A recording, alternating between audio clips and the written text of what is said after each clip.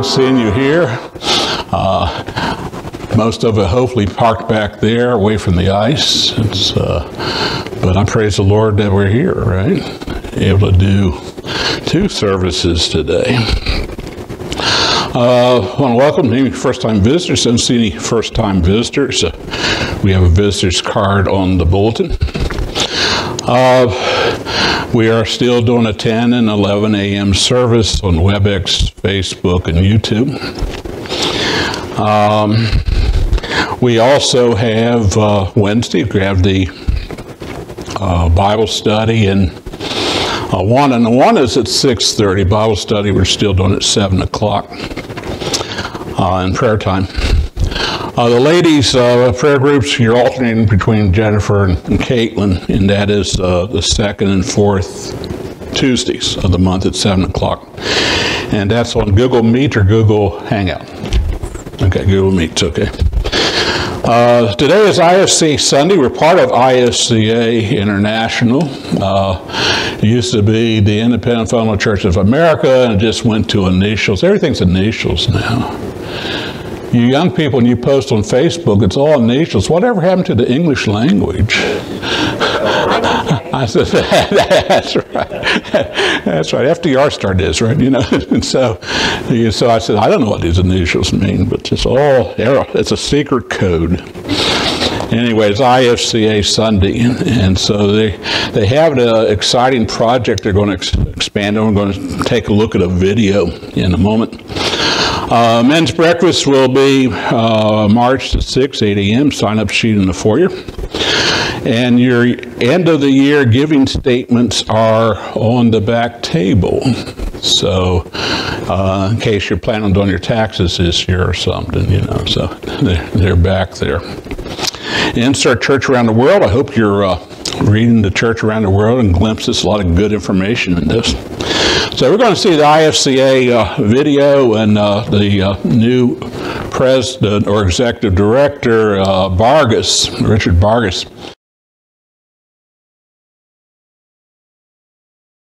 Hi, my name is Richard Bargas, and I'm the Executive Director of IFCA International.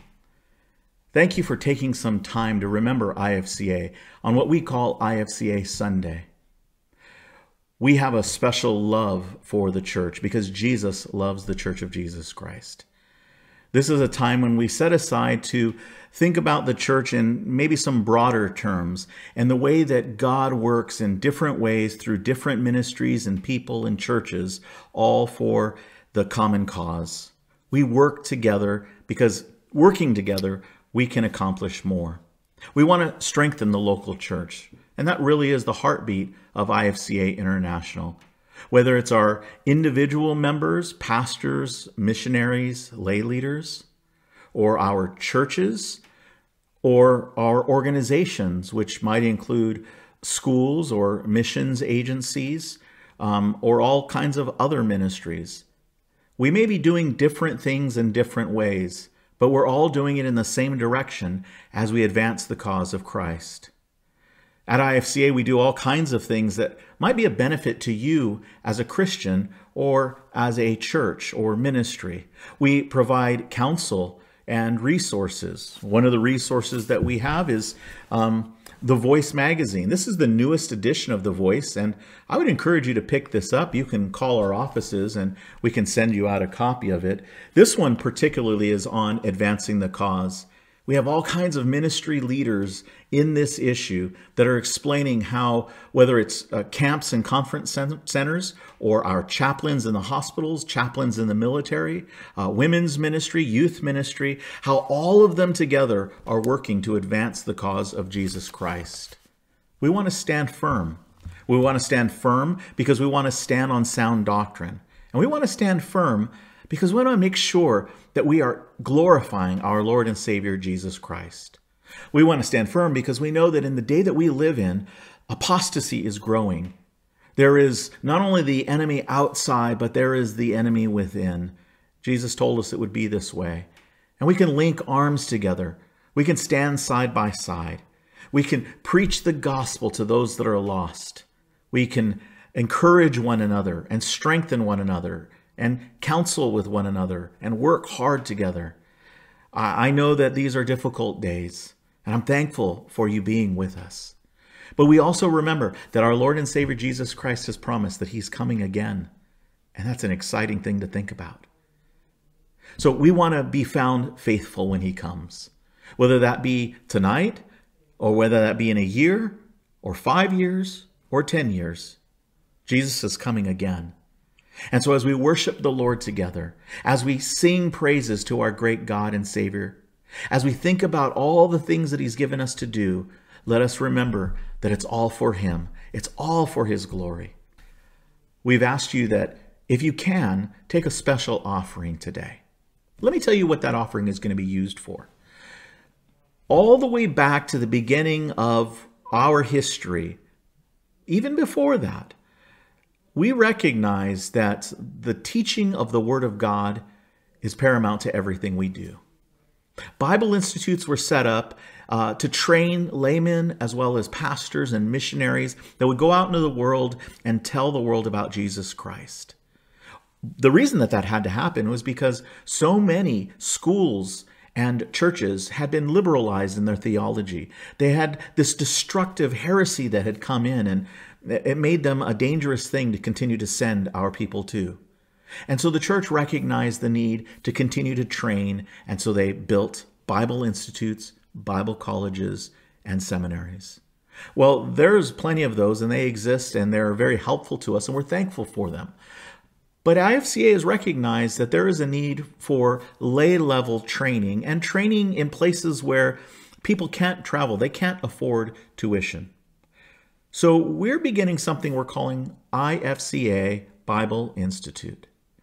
Basically, what it is, it's an online website where you can go and you can watch IFCA teachers teaching the Word of God in different areas of theology or practical ministry. We've already built the website and we've already begun to put some uh, videos in there with uh, little notes to go along with the videos to help teach uh, the pastor or the elder or the deacon, our brothers and sisters that are all over the world in some places where they can get internet access on their phone, but they can't leave where they're ministering, where they're working and serving uh, to go to school for any length of time. We want to provide for all of these needs and we want to do it free. But the only way we can do that is if we have the funds to be able to continue to add to this small library of videos where we're hoping to teach the Word of God to those that are in our churches, to those that need to be trained. We want to build up an army of Sunday school teachers and Awana leaders and good solid deacons and elders and for the pastor that maybe needs a little brushing up on some things or sharpening in other areas we want to provide that as well. It's a stepping stone to maybe another level of education.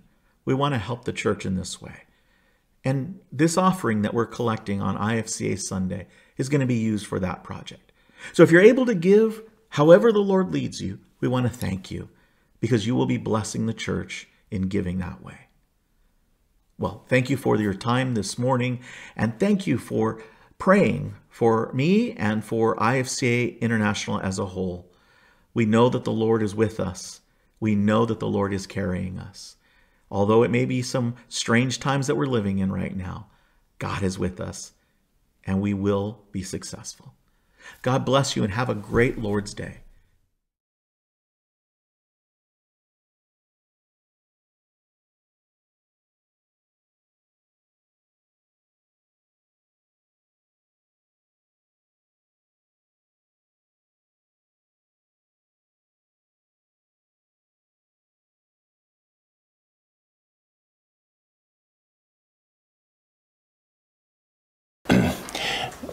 Now, godliness with contentment is great gain.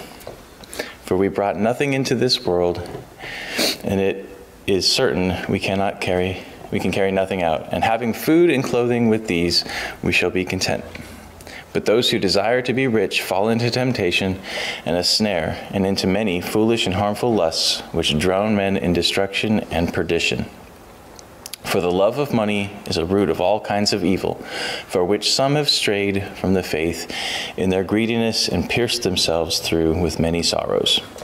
But you, O man of God, flee these things and pursue righteousness, godliness, faith, love, patience, gentleness. Fight the good fight of faith. Lay hold of eternal life, to which you were also called, and have confessed the good confession in the presence of many witnesses. Let's pray. Lord God, we come before you this morning. We give you thanks for your goodness to us. We thank you for the opportunity to be here together. Um, we ask that you be with Pastor as he uh, preaches from your word this morning. Lord, speak to us through it. Help us to uh, be strengthened uh, here, that we can carry with us uh, your word from this place to be a light in the world. Please accept worship from us this morning that is worthy of you. In Jesus' name, amen. Thank you, Joe. All right, we'll continue our study in the book of Philippians, Philippians chapter 4.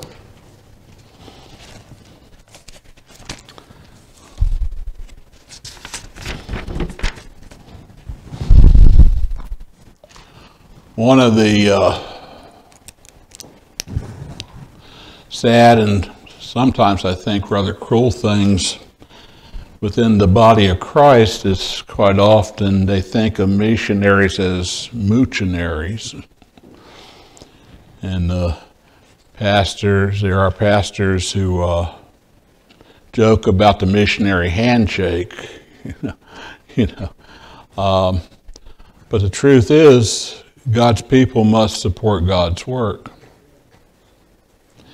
And pastors don't realize if it wasn't for the gracious giving of their own people, they wouldn't have a salary either. right? And so it's sad, it's hard enough to be a missionary. And most of the missionaries I know are undersupported, right? They really don't have a, enough coming in and they're scraping by. And so the reason why I mentioned that, this is the second major passage in the scriptures dealing, uh, in the epistles dealing with giving. The first one is that huge section of 2 Corinthians 8 and 9. But one of the great things, the Philippian church stands on top of the heap when it comes to lighting the way of how to support missions. And so we pick it up here, Philippians chapter 4, verse 10, and it says, But I rejoiced in the Lord greatly that now at last your care for me has flourished again, though you surely did care, but you lacked the opportunity.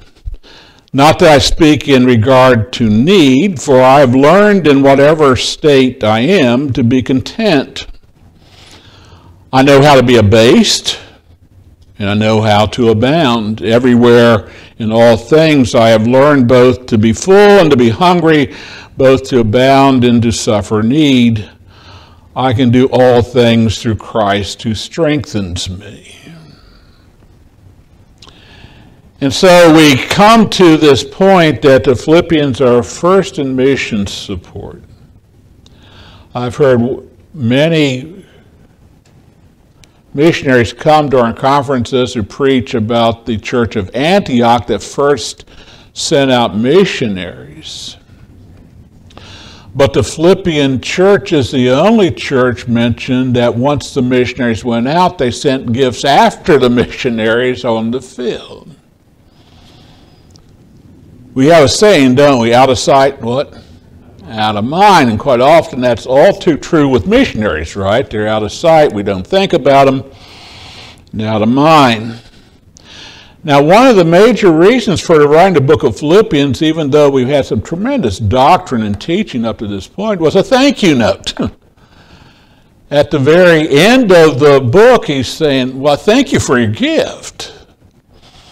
Uh, not that I'm seeking a gift, but you have surprised me once again with your generosity. Matter of fact, we're told in Philippians 4:16, which we'll look at hopefully next week, is the fact this is the third time they've done this. they, they sent a gift, and then they sent another one, and then they sent another one.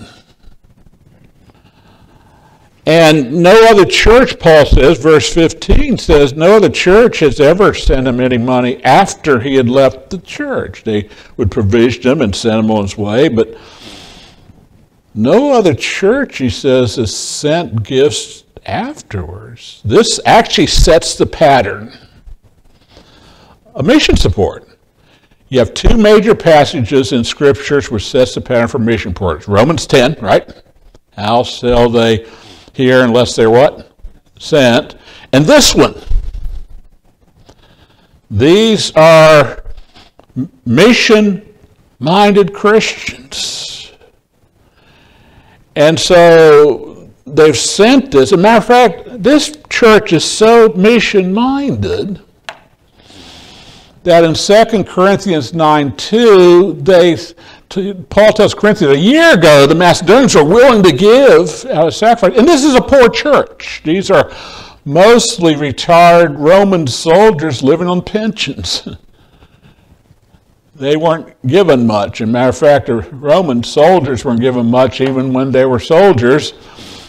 They were given uh, 50 denarii a month, and the cost they had to pay for their own uniform and provisions, which cost 50 denarii a month. you didn't leave anything, right? And so, uh, so we have this this poor church scraping together what they can to send a gift to Paul. Now, the Philippian church therefore establishes this ongoing pattern of giving. And is the only church in the New Testament that does so. Matter of fact, one of the major issues of Paul uh, writing to Corinthians, right? They were stingy. and they were a wealthy church. It was one of these, uh, you know, they were at the right place at the right time, the Corinthians, because they would bring ships in to one side of the isthmus, and the Corinthians were the middleman taking the goods over to the other side of the isthmus between the Aegean and Adriatic seas, and they got the fees going both ways. So it was a wealthy church, but the Philippians were not. And Paul commends them for their care and he rejoices with them.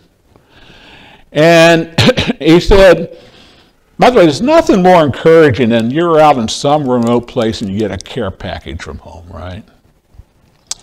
Uh, you know, if you ever watched any of the documentaries of uh, World War II soldiers, what were they looking forward to every day?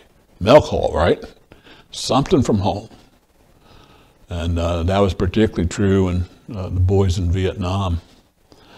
And so um, Paul gets a care package. And no other church, because a care package says, I'm really thinking of you and I really love you, right? And that's what a care package does. And, and so he was encouraged and, and, and, and facing all the obstacles that Paul did, they show this care for him. And action is put into thought. By the way, the difference between will and action is your desire to fulfill the will. I want you to picture in your mind a triangle. Okay? Now it could be scalene or you know equilateral isosceles, but uh, and so some of it a little bit skewed. Anyway, a triangle. On the bottom side, you have over here you have your will, what you want to do. Now let's call it your spiritual will. Okay. On the other side is the price to do the. What is it going to cost you? Right? What's it going to cost you? It's going to cost you, are you going to overcome your laziness and, and, and, and sinful thoughts and, and, and your flesh and your lust? What's it going to cost you? At the very top is accomplishing your will.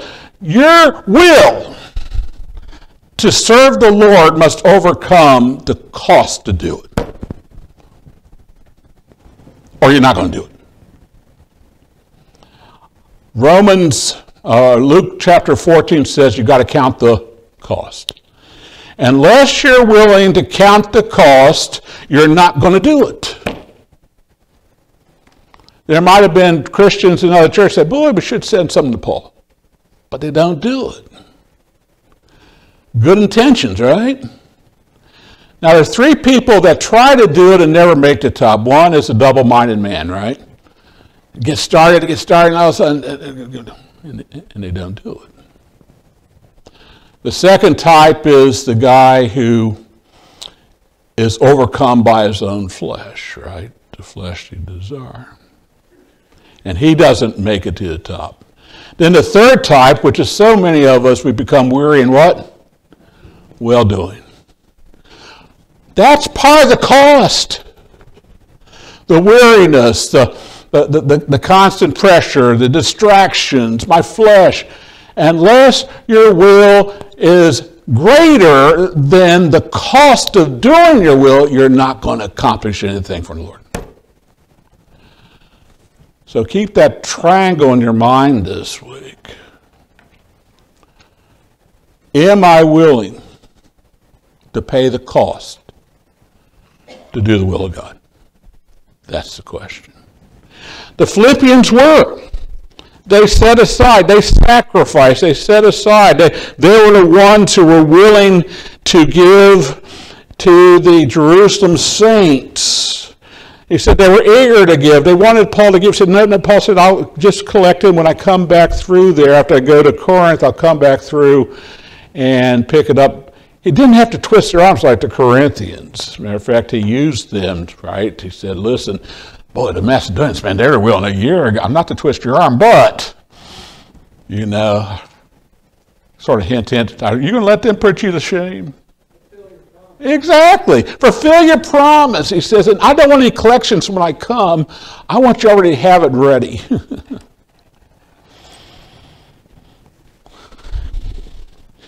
you know, isn't it interesting? Often the most or the least able to give are the ones who give more generously. Isn't it often the truth? You notice God's work is usually not supported by a bunch of millionaires and billionaires.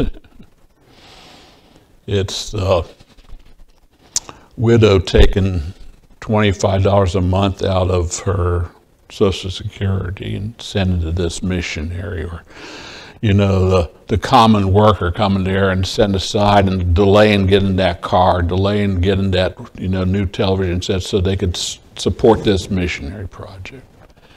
That's why the Lord said that the widow gave more than all of them, even though two mites was two thirds of a penny, he said, because she gave everything she had. and so this is what the Philippians were about. They were a, a poor church. Uh, they, they did not have a lot of means, but they wanted to give. And Paul emphasizes that he knew all along the Philippians cared for him and desired to do more, but they lacked opportunity. There's a hint here, I think, Epaphroditus, when he shows up, he shows up and says, Paul, I'm sorry, we wanted you know, we wanted to come earlier and we wanted to do more earlier, but we were delayed in doing it. Would you forgive us? Paul says, I wasn't expecting anything. And I know you care about it. You, you didn't have to do this to prove you care because you've shown it over and over and over again. Now, here's a key principle of serving the Lord and supporting God's work is you want to do more. You do something, but you really want to do more. How can I do more? Lord, what, what, what are you going to allow me to do? That I might be faithful in supporting this work. Now, Paul says, don't get me wrong. I, you know, I greatly appreciate your gift, but I am not depending on people giving things. I'm depending on the Lord. And the fact that I am not relying upon other people, the Lord will provide in His way and His needs. And by the way, we're going to see we're going to see this in the next passage. He says, by the way, you know, you're the one that's going to be rewarded for this, not me. It's great that you give to me, but you're you're going to be rewarded.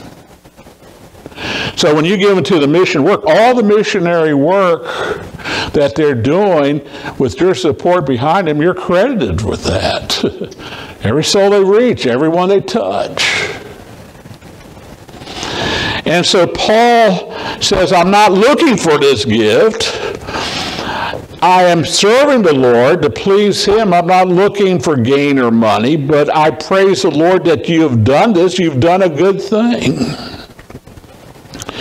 Now, Paul said he learned to be content. Now, just think of what Paul was before he got saved, right? He was a Pharisee. He had everything, right? He, he never went home and said, "Man, I wonder what uh, if I have any food to eat today." I mean, he had he had all that he needed. He, you know, he had a horse. Remember, he's heading up to Damascus. He had uh, a claim. You know, people looked up to him, and, you know, his everything else. He he had clothes. He didn't. There wasn't anything that Paul needed that he lacked. Now he went from that to depending on how the Lord would supply through God's people. He's often hungry, often slept on ground. Take a look at that list over there in 2 Corinthians 11, you know. And not only did he lack, but, you know, this guy was whipped, scourged five times, and beaten with rods three times. I mean, uh, this guy, this would not be how you would, uh, you know, post uh, your resume on career.com, right? We're looking for a guy who wants to be beaten up and, you know, whipped and scourged, and, you know. But that's exactly what he went through. And so, but Paul says he never lacked what he needed food or shelter. And if he didn't need food that day, he didn't get food that day. And he had little food, sometimes no food. He was sleeping on the ground on the side of the road. As a Pharisee, he could sleep in any inn or any house that he wanted to, but here he's sleeping on the ground and, and on the side of the road, and he's having this rough life. And Paul trusts that the Lord would take care of him, what the Lord orders he pays for. And so Paul said, I learned to be. Now, I want you to notice this. There's two words I want you to zero in on here.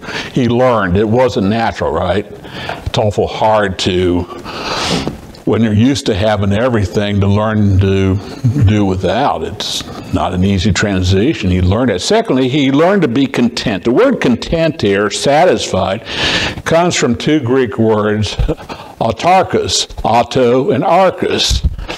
Auto is self if you have an automobile, it's a self-driving vehicle. You don't need a horsey or a, ox or anything else. It's, it's a, it's a self-driving vehicle. Well, actually, notice gasoline and everything and all that in there, but it's, it's an automobile which was quite a sensation turn into the 20th century. The word arches, you're familiar with that too, it means to rule. Uh, monarchy, right? Uh, democracy, uh, uh these oligarchy, these archy things at the end of the things, that's, that's from this word. It means I am, have myself under control. I have under my control. I am not looking for anything outside. The Lord is providing, and I'm not begging someone to support me. I'm complete within myself. Not because Paul was self sufficient, because he was God sufficient, right? That's what he was looking. He was looking to be God sufficient. And so Paul was not claiming that he can do without anyone. He used to he was satisfying whatever the Lord gave him. By the way, that's just that's foreign to us. We go, you know, most people think that food's grown in a can.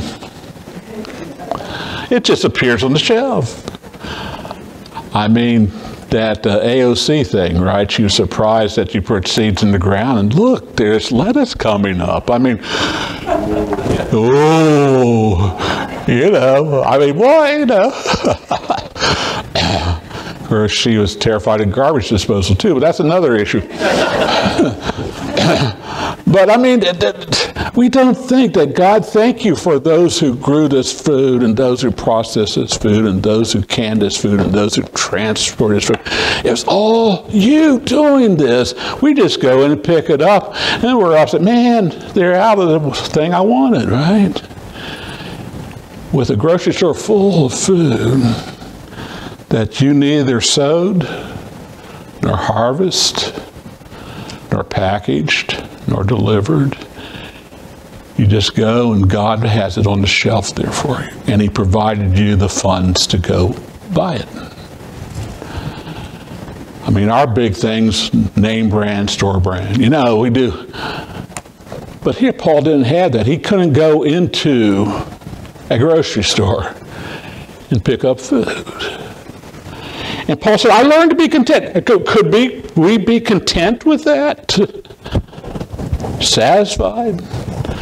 Would you be satisfied if you go to a store and all the shelves are empty? or the fact that your job is cut off, your funds are cut off, and you can't afford food, or have to wait into a uh, with a food line. Paul was content. He was he had well-being because he knew that God was carrying him all the way. And so Paul was commandeered, says, I praise God for what you've done, but I am not depending on what you're doing. Paul said, I learned how to be hungry and to have plenty. Um, Paul never had to check into EPI weight loss services. never had to. Matter of fact, I remember a missionary years ago coming in Africa. He had to explain what gluttony was because the concept to them to have too much food just didn't make sense. I mean, there's a place where you come from to have too much food? Man, we don't know what blessings we have, or do we? We really don't. We might find out one day, though. And so here we have Paul knew how to go hungry. He didn't despair for lacking. He didn't wonder, Lord, what am I going to do? He wasn't pacing the floor. He didn't have to take blood pressure medication. he didn't become haughtily self sufficient either. Ha ha, I don't need you. It wasn't that idea, but Paul was able to trust God no matter what state he was in. And by the way, he was consistent whether he had plenty or didn't have anything. He was consistent in his praise to God, he was consistent in his attitude. He did not become self reliant. He relied upon the Lord, nor did he become in despair when he didn't have anything. Most people do not know how to prosper, don't know how to flourish. We drift away from the Lord. Uh, Joshua prospered at Jericho and, and, forgot to talk to the Lord before he went to Ai or deal with the Gibeonites. David was feeling pretty good, right? He was, the kingdom was all established. He had everything he wanted. He decides he sends Joab and the gang out there to fight the next battle at Rabbah. And he's just going to take, sit and take his ease in Zion, literally. Because that's where he was on Mount Zion. His mind drifts from the Lord as he's considering all these wonderful things, and he spots beautiful Bathsheba taking a bath. And that was not a good day in the life of David or in the kingdom. And so it wasn't consistent. Uzzah, everything was going so great for King Uzzah uh, that, I mean, Uzziah, not Uzzah, Uzzah guys who killed with the Ark of Covenant, but Uzziah. Everything was going so well, he was bored. Everything going so well, bored, right? he decides he's going to make a sacrifice in the temple. I haven't done that. God strikes him down with leprosy. See, it's awful hard to learn how to be prosperous and to have plenty. We tend to become self reliant. We tend to complain that I want more, I want something different. Prosperity is more of a snare to us than poverty is a burden. Must understand that. The greatest temptation is not in the times when we're under pressure, it's in the times when things are going very well. And Paul said, I learned how to do both. I learned how to be consistent, whether I was lacking something or whether I was full. It didn't matter. I was consistent with that. And Paul states, because of this, I can do all things in Jesus Christ who makes me strong. Now, people lift this out of context. it doesn't mean that Paul can leap high, tall buildings in a single bound. or do move mountains. That's what he's talking about. Paul is talking about the whole epistle that he, for me to live as Christ and to die as gain, and that he who began a good work in me will complete to end, and he's working out of salvation with fear and trembling. He's doing all things without murmuring and grumbling, that he had put, counted everything that he was before as dung, and now is everything's relying on Jesus Christ. He's pressing on the mark of the high calling of Jesus Christ. It's, it's the fact that he learned to be content. He's rejoicing in the Lord always, that he let in his, his gracious deference between all the men. He's, he's making his prayer requests with thanksgiving and supplication before the Lord. He's thinking on the things that are good and righteous and virtuous and honorable. He's doing all these things. He's learned to be content. He said, Now I can do all things in Jesus Christ who strengthens me. It all presumes everything that comes before. In other words, he says, I can do everything that Jesus Christ wants me to do. Not because of who I am, but because who he is. And if I submit to who he is, there's nothing I can't do in what he's called me to do. That's what it's talking about. It's not talking about, I can do all things to Jesus Christ, so I can just dream up that God's going to give me this money, I'm going to go buy a big car, you know? It's not, it's not what it's talking about. And so he's trying to teach the Philippians says, Yes, it's great you give me a gift, but I'm not depending on that. And it's more to your benefit than it is actually to me. By the way, one of the things, uh, let me let me explain this word we use in theology called, in philosophy called reductionism. You know what reductionism is? You bring things to such a simple terms that it actually misses the whole point. it's oversimplified. So everybody, you look at all in the scripture and say, that means everything. Oh, all, all. Well, sometimes it does. All sin comes short of glory of God means what? everyone.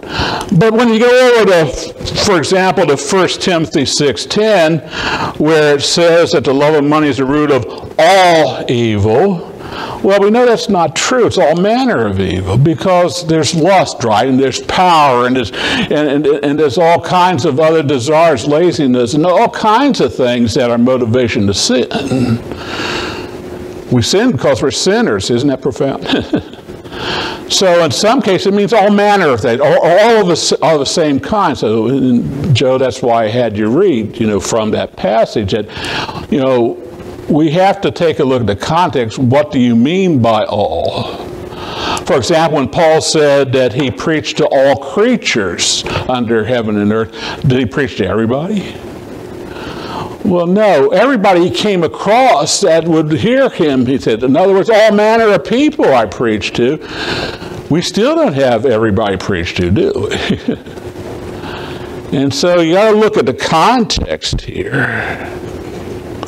But Paul is saying, listen, if I am content and rejoicing whether things are going well, and by the way, I, I don't want this to sound um, sound like I'm minimizing what our country's going through, but Paul didn't care about politics.